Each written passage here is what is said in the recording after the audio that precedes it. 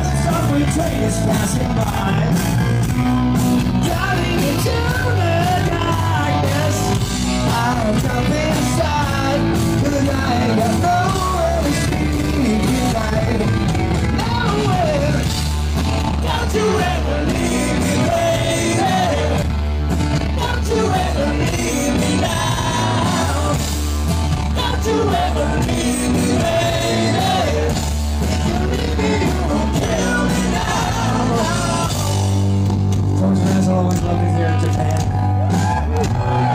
Yes, he did. Sure. we always have a great time here. We love you people. You're so sincere and genuine. And so are we. We mean it for real.